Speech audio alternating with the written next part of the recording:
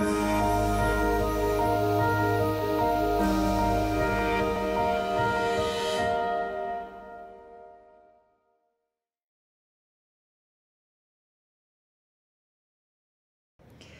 en quoi le fait d'être une femme change ce que je fais?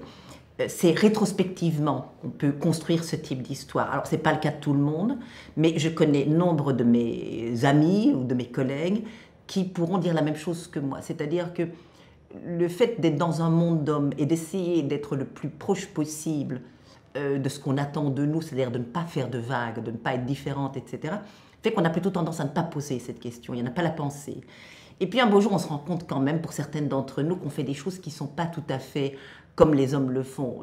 Par exemple, pour moi, c'était avoir choisi des objets philosophiques qui sont des objets pas tout à fait philosophiques, qui sont toujours à la marge, étudier des oiseaux pour un philosophe et aller sur le terrain, enfin bref, j'avais des objets pas convenables, pas propres.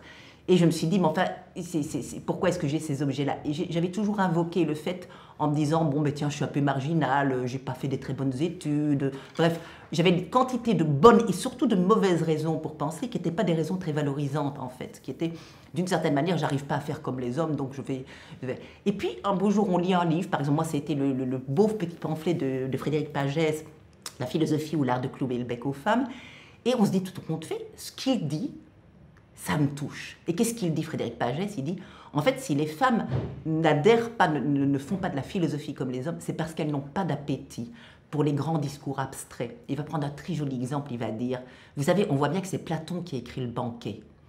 Platon écrit le banquet parce qu'on va parler de philosophie tout ce banquet et personne ne saura jamais, alors qu'il y a deux heures ou trois heures de banquet, ce qu'il y avait dans les assiettes. Si une femme avait écrit le banquet, elle aurait été voir à la cuisine, elle aurait nourri tout ça. Et de lire ça, je me suis dit, mais tout compte fait, est-ce que le fait d'être femme, c'est pas ça qui a justifié mon goût pour le terrain, mon, manque d'intérêt total pour les questions comme la, transcendance, euh, l'être, euh, enfin des questions philosophiques, euh, l'existence de Dieu, bref, des grandes idées que les hommes aiment agiter et dont Prégès dit qu'il s'agit de ferraillage de vieux garçons. Et je me suis dit, peut-être que rétrospectivement, je peux lire mes choix, mon goût pour le terrain, mon goût pour les détails, mon goût pour le concret, comme un manque d'appétit pour les grandes questions qui agitent les hommes philosophes et un certain appétit féminin pour le concret, pour le quotidien, pour les choses qui nous nourrissent, qui nous mettent en joie. Et une fois qu'on se dit ça, on ne sait pas si on est dans un discours plus vrai que de dire je, je, je, fais des choses différentes parce que je suis un peu handicapé ou je ne suis pas capable de faire comme les hommes ou peut-être que voilà, etc c'est pas plus, l'un n'est pas plus vrai que l'autre. Mais une fois que vous vous dites, je le fais rétrospectivement en tant que femme et en revendiquant le fait de ne pas avoir d'appétit, de ne pas trouver très intéressant les généralisations, de trouver beaucoup plus intéressant d'inquiéter les généralisations et l'universel, eh bien en fait vous gagnez du pouvoir. Et donc rétrospectivement, c'est une force que vous gagnez dans un type de narration d'une certaine manière auquel vous adhérez et que vous allez commencer à suivre comme un fil rouge qui va vous guider. Alors comment le fait d'être une femme a modifié mon rapport personnel à la nature? Eh bien, il ne l'a pas beaucoup modifié. Voilà, c'est, moi, mon rapport à la nature est un rapport très construit.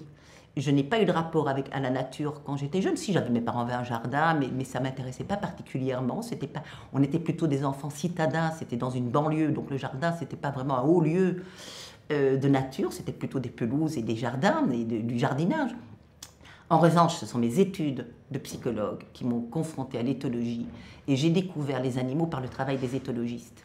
Et c'est donc pas en tant que femme que j'ai découvert l'éthologie, c'est en tant qu'étudiante en psychologie. Et euh, alors, est-ce que ça change quelque chose? Il y a une chose qui change, c'est que le fait que maintenant je suis profondément affectée par le fait d'aimer les animaux, par le fait d'aimer vivre avec des animaux, par le fait que dans mon travail je trouve utile et nécessaire d'aller certains jours écouter les oiseaux et d'avoir une chienne qui vient à mes côtés, parce que c'est un rapport qui est pour moi extraordinaire avec un être autre qu'humain, et le fait que j'en parle dans mes écrits, que j'en fasse des objets de bouquins, que je puisse remercier ma chienne dans les remerciements de mon dernier livre, et que je signale même que j'entends un merle chanter à ma fenêtre et que ça me bouleverse au point d'en avoir les larmes aux yeux. Comme philosophe, je pense que comme femme, je peux oser le faire, qu'un homme l'oserait peut-être moins, quoique certains commencent à l'oser. Ce qui veut dire qu'il y a peut-être au grand regret de certains, une féminisation du rapport de la philosophie avec la nature. Il y a toujours des risques à revendiquer une différence de genre dans le travail et ce sont des risques qui sont énormes comme sont énormes le fait de ne pas, les risques de ne pas le revendiquer. Vous savez, je pense toujours qu'à un risque, il faut penser le risque inverse. J'ai un, compagnon qui est psychiatre et qui dit, quand on pense au risque qu'il y a à se droguer, il faut évidemment penser aussi au risque qu'il y a à ne pas se droguer. Et je pense que par exemple les risques, alors là on, part sur le, risque de revendiquer, je vais partir sur l'expérience des scientifiques que je connais particulièrement bien, qui ont été les primatologues.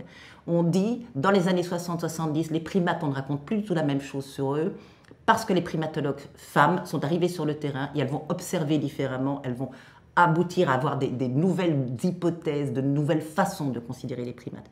Et certaines d'entre elles vont dire, faites gaffe, si vous dites que nous sommes meilleurs parce que nous sommes femmes, alors que les femmes ont toujours été disqualifiées et que la science féminine est une science de seconde zone, disons-le, vous allez vous-même ouvrir la trappe dans laquelle vous allez tomber. Donc ne revendiquez pas, dites et ça c'est Shirley Strom, une primatologue assez célèbre, qui va dire dites que si vous réussissez à si bien travailler, c'est parce que vous êtes une bonne scientifique, parce que vous travaillez énormément, mais pas parce que vous êtes une femme. Et d'autres vont dire, et c'est là où le risque va s'inverser, si nous voulons, parce que nous savons qu'il faut une science qui soit plus attentive aux détails, moins branchée sur des théories très, très vite faites et universelles, si nous voulons changer la science, nous devons revendiquer une autre manière de faire science et revendiquer le fait que comme femmes, nous sommes attentives à certaines dimensions du vécu et à certaines euh, euh, idéologies, notamment patriarcales, qui, vont, qui contaminent nos savoirs. Et donc nous devons revendiquer qu'en tant que femmes, nous avons été capables de changer la façon de faire.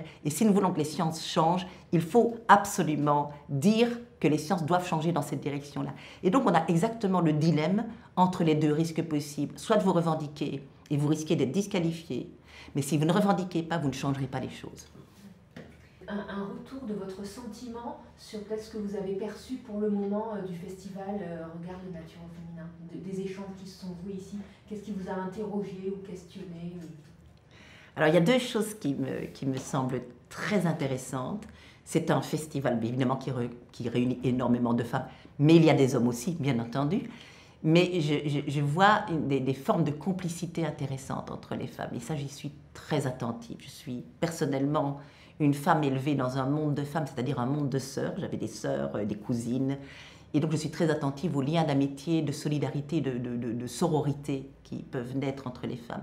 Et il me semble qu'il y a quelque chose de cet ordre-là, avec, je trouve, de la bienveillance de certaines femmes qui sont des aînées, qui ont déjà mieux réussi, qui s'intéressent, j'ai vu ça tout à l'heure, des femmes plus âgées qui s'intéressent à des femmes plus jeunes, qu'est-ce que tu fais, etc. Vraiment une curiosité, mais une curiosité bienveillante, premier point. Deuxième point, je craignais que ce festival soit peu politisé, vu le titre, par exemple, du panel auquel je participais, qui était Regard féminin sur la nature, où je me disais, c'est peut-être pas une façon très politique de présenter les choses, mais j'ai réalisé qu'une fois que ce panel été lancé, toutes les femmes qui étaient présentes au panel, sans exception, étaient profondément intéressées par toutes les dimensions politiques que, que présente la situation, la configuration du rapport à la nature. Et pourquoi? Parce qu'elles pensent toujours ce rapport à la nature comme un rapport et des humains avec les êtres vivants et des humains entre eux, avec des conséquences qui vont être, je vais dire par exemple le changement climatique, il y a des conséquences pour les humains comme il y a des conséquences pour les animaux. Et j'ai remarqué que c'est ça la dimension politique intéressante, elle ne néglige pas les conséquences pour les humains en, avec une sorte de privilège, je vais dire de greenwashing pour les, pour les, pour les êtres vivants. Et ça c'est très intéressant.